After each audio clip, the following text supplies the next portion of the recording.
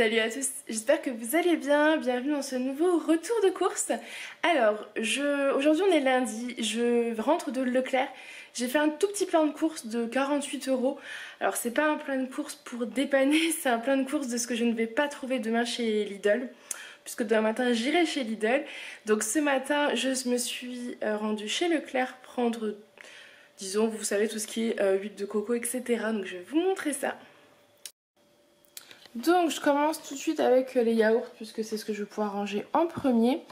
Je me suis pris des sojasun euh, noisettes amandes. Je crois que j'avais déjà goûté ça.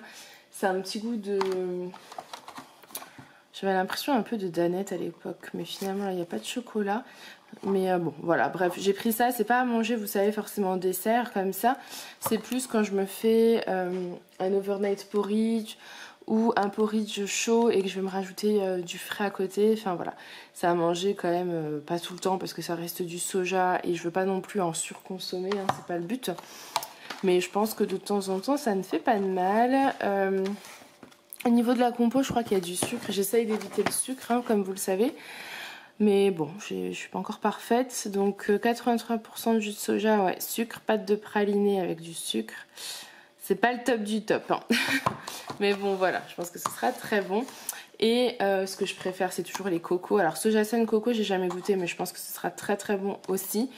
Euh, donc forcément, j'ai pris nature coco. Et dans celui-ci, on nous dit jus de soja 90%, lait de coco 4%, sucre. À mon avis, ceux-ci sont moins, moins, moins sucrés. Ouais, ah, ceux-ci sont moins caloriques. Ensuite, donc j'ai repris mes Alpro Noix de Coco. La semaine dernière, je vous ai présenté bah, ceux-là comme d'hab. Et les euh, Charlie Alice. Je n'ai pas du tout apprécié le Charlie Alice. On l'a mangé bien évidemment, hein. mais euh, c'était calorique. Euh, je trouvais que c'était un peu gras et pas très bon. Voilà. Après, forcément, il y avait, je crois qu'il n'y avait pas de sucre. Donc voilà. Et j'ai repris du fromage blanc, ça c'est pour dépanner un petit peu en attendant demain parce que les enfants n'ont plus de dessert. Et ils adorent le fromage blanc tout simplement. Donc je, leur en ai pris. Et euh, également du citron bio euh, parce que je préfère les vrais citrons pressés. Mais de temps en temps, euh, pour dépanner, c'est pas mal. Hier soir, j'ai fait des avocados toast pour Julien et moi et on n'avait pas de citron et c'est dommage parce que je suis persuadée que ça aurait été très très bon avec.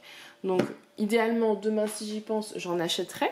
Et euh, je pense que c'est bien d'avoir quand même ça pour dépanner dans son petit frigo. Donc je vais ranger ça puis je vais vous montrer le reste de mes achats de la journée. Donc ensuite on continue. J'ai pris euh, du chocolat noir pâtissier parce que ça fait longtemps que j'ai pas fait de petits desserts maison. Euh, et c'est vrai que la Lisa réclame souvent des gâteaux au chocolat donc je n'en achète pas ou très rarement, donc je préfère les faire moi-même. Et là j'ai prévu de nous faire un brownie chocolat haricot rouge.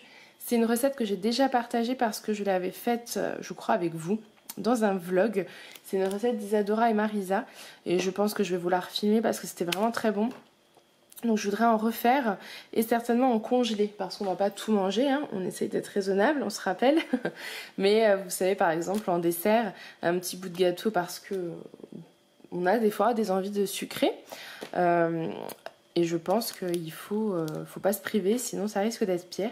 Mais de manger raisonnablement. Et je pense que euh, gâteau chocolat haricot rouge, c'est très raisonnable. Donc voilà, de toute façon, je vous montrerai en vidéo. J'ai pris de la farine semi-complète parce que j'ai en tête d'arrêter de cuisiner, de pâtisser avec de la farine blanche parce qu'en fait la farine blanche on lui a enlevé tous les nutriments, euh, voilà, toutes les bonnes calories. On c'est une, des calories vides si vous voulez quand on a la farine blanche. Et donc c'est beaucoup mieux de, cuisiner à la semi-complète. Donc je voudrais tester, voir un petit peu les différences. Euh, il me semblait que j'avais déjà fait à une époque et il n'y avait pas eu de souci. Par contre, euh, pour trouver la farine de blé semi-complète chez Leclerc, je crois que j'ai perdu un quart d'heure.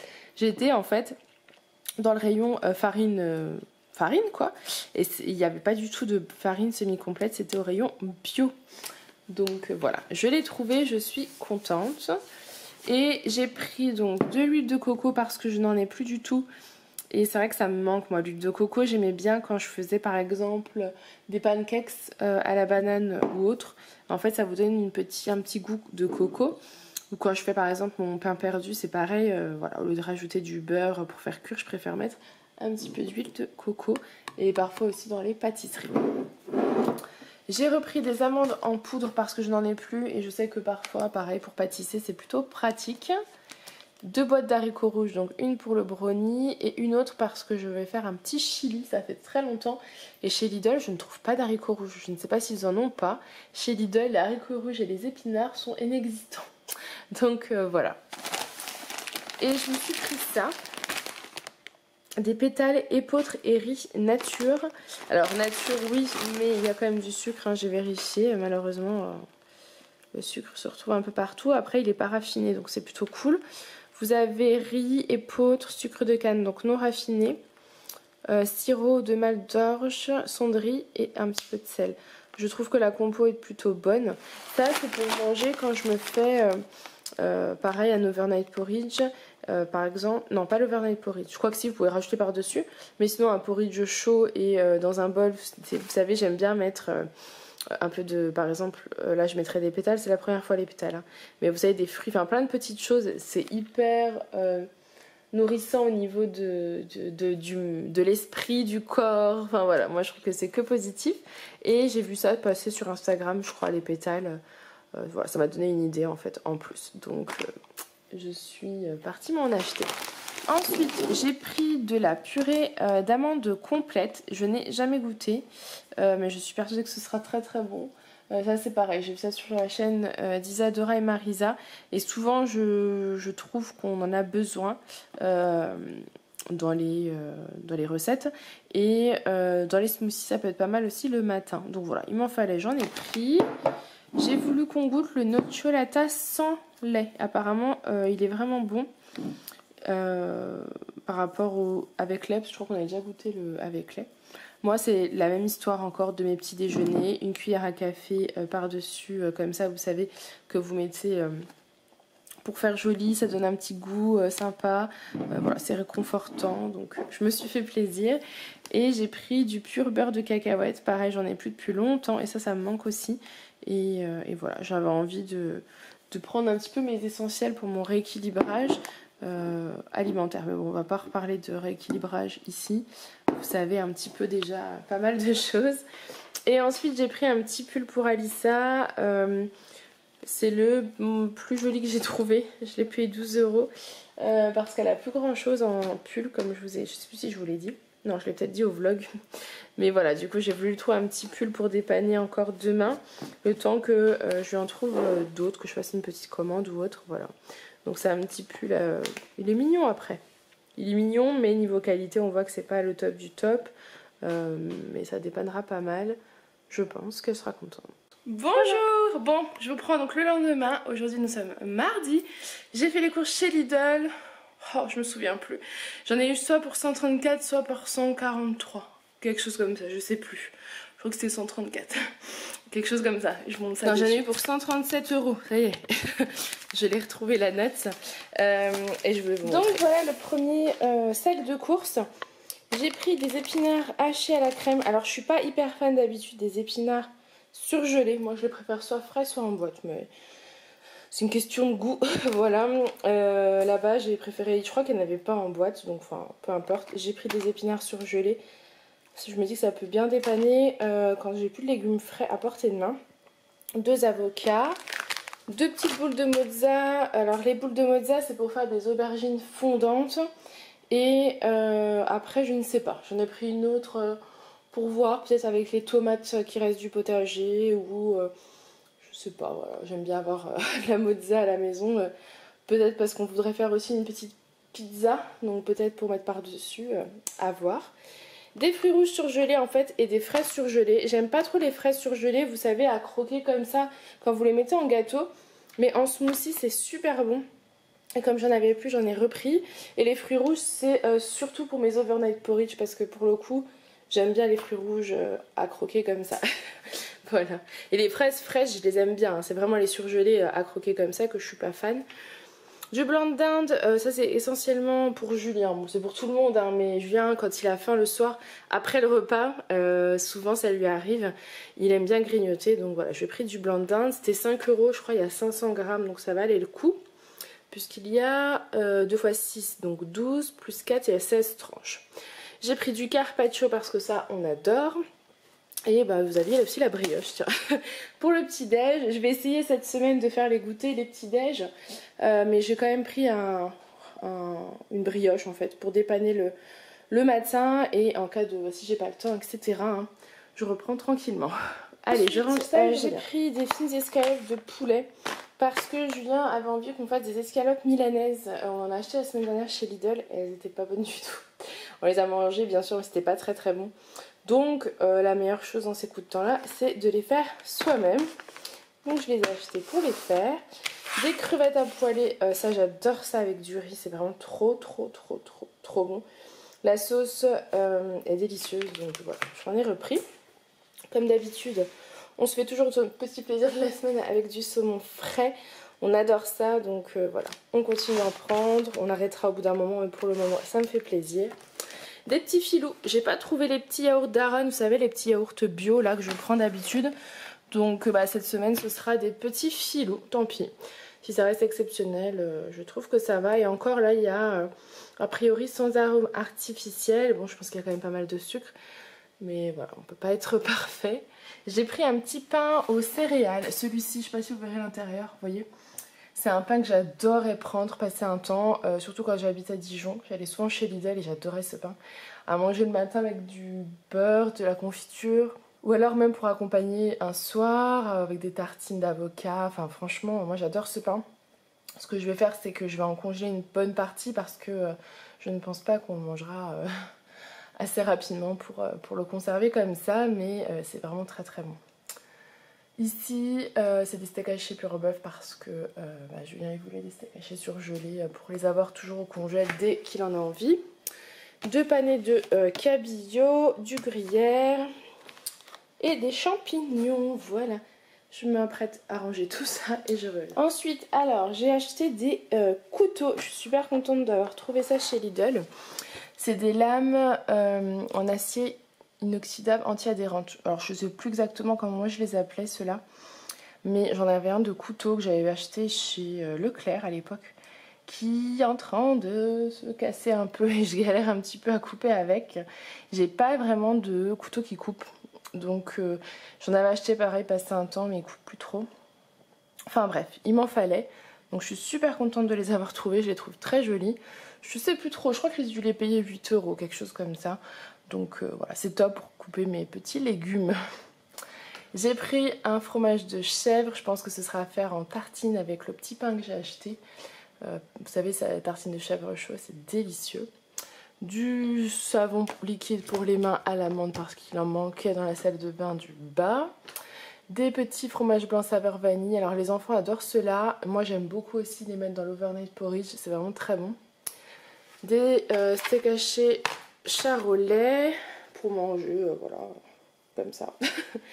Du chocolat noir pâtissier, donc comme je vous expliquais, je vais essayer de refaire moi-même les petits déj et les goûter. Donc je fais le stock de ce qu'il me faut. Du citron frais, parce qu'à chaque fois on a court de citron, enfin on n'en a pas quand on veut manger du saumon ou euh, l'autre coup les avocats de toast. On était un peu triste. Donc j'en ai acheté hier euh, en en flacon là. Mais je préfère toujours en avoir du frais. Et le flacon c'est pour dépanner quand, j'en ai plus. Un brocoli parce que ça, ça passe toujours très bien euh, avec tout le monde. Donc c'est plutôt cool. Et des flambis parce que Alissa m'en a réclamé cette semaine. J'en ai pas pris la semaine dernière. J'essaye de, de, varier un petit peu les plaisirs. Ensuite, euh, j'ai repris du Saint-Bastien. Je crois que c'est le Saint-Félicien. Non, pas Saint-Félicien. Oh mince. Vous me l'aviez dit la dernière fois ou Saint-Albret, voilà. C'est très très bon. Du tartare, euh, les enfants adorent ça, donc ils seront bien contents. Euh, tartiner sur une tranche de pain que je viens d'acheter, je pense qu'ils seront vraiment ravis. Deux éponges, voilà, il fallait des éponges, j'en avais plus. J'ai pris des petites crèmes dessert à la vanille, ça c'est pour Julien, moi j'aime pas ça du tout. Euh, mais je pense qu'il sera content d'avoir ça le soir. De l'espresso, ça c'est le café pour la Dolce Gusto pour Julien. Moi j'aime pas l'expresso. J'ai pris un kg de euh, carottes, du sopalin, du, de la mayonnaise parce qu'il n'y en avait plus et euh, monsieur Julien était triste. Du camembert, celui-ci je ne connais pas.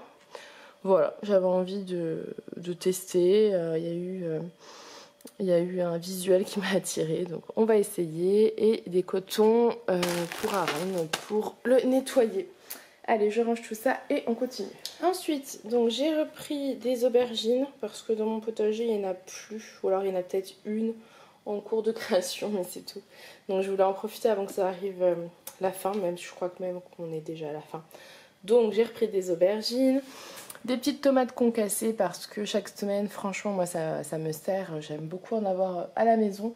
Je ne fais plus du tout les menus de la semaine parce qu'en ce moment j'aime bien m'inspirer un petit peu de, de ce que je vois en magasin, euh, d'internet et euh, on se régale vraiment gustativement. Donc euh, voilà, je sais que ça me servira. De la purée de tomates, du liquide vaisselle, des herbes de Provence, du lait d'amande parce que je n'en ai plus. Enfin, j'ai presque fini celui de ma semaine. Je bois un litre de lait d'amande par semaine en ce moment. Des œufs bio et du raisin noir parce qu'on adore ça. Donc je range tout ça et je reviens. Et enfin le dernier euh, sac de course, il faut savoir que j'ai un pack de lait bio et un pack d'eau en bas. Voilà, comme ça vous savez tout. Euh, ici nous avons, j'ai pris des petites pommes d'Alsace, donc ça je suis contente parce qu'elles viennent du coin. Celle-ci ce sera croquée, il me reste dans ma corbeille de fruits trois pommes, donc euh, à voir, peut-être que je ferai un petit crumble ou une petite compote ou autre. Mais celles-ci je pense qu'on va les manger à croquer parce que je sais pas si vous verrez mais elles sont très très belles. Et je pense qu'elles seront très bonnes. Des échalotes et de l'oignon. chaque semaine on passe le petit sachet comme ça d'oignons donc j'en rachète et j'avais pas pris d'échalotes la semaine dernière donc j'en ai repris cette semaine. Euh, voilà, il faut savoir que les échalotes et les oignons, comme l'ail d'ailleurs, c'est très bon pour la santé donc euh, moi j'essaie d'en mettre un peu partout. Notamment dans les soupes ça passe inaperçu et ça fait plein de bonnes euh, vitamines. Des bananes et des bananes bio, voilà. Vous dire, celle-ci était plus verte, j'en voulais à manger rapidement donc j'ai pris celle-ci. Tout simplement. J'ai repris des petites nectarines qui viennent de France.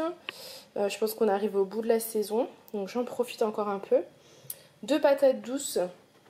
Cette semaine, j'aimerais tester la recette de euh, pizza à base de pâte, euh, pâte avec une pâte à base de patates douces. On va y arriver. c'est la recette d'Isadora et Marisa. Donc voilà, peut-être que je testerai. Si c'est le cas, je vous filmerai de toute façon tout ça dans un vlog. Donc les bananes, du coton démaquillant, des pommes potes euh, pommes, parce qu'en fait Alissa n'aime que la pomme. Et Aaron aime tout, donc peu importe, cette semaine ce sera que de la pomme. des pâtes, euh, hier j'ai oublié d'acheter des pâtes semi-complètes chez euh, Leclerc. Donc je pense que j'irai la semaine prochaine, bah, j'ai pris ça pour dépanner si vous voulez. Mais la prochaine fois, avant d'aller chez Lidl, je ferai comme j'ai fait cette semaine, un jour avant. Je prendrai certainement les pâtes semi-complètes, le riz semi-complet etc. directement chez Leclerc et j'aurai moins de courses à faire donc chez Lidl. Et enfin, mon petit café lait. Voilà, vous avez eu l'intégralité de mes courses de la semaine. Vous me demandez souvent, mais oui, c'est pour la semaine. voilà, c'est vrai qu'on que c'est beaucoup de produits bruts, donc forcément je les cuisine. Euh, bah voilà, hein, c'est pas des plats tout prêts, donc ça prend beaucoup de place, toutes les, tous les produits. Mais euh, on se régale toutes les semaines de plein de bonnes choses. Donc voilà, ce retour de course est terminé. J'espère qu'il vous aura plu. Si c'est le cas, n'hésitez pas à le liker et à le commenter. Moi, je vous fais plein de gros bisous et je vous dis à demain. Bye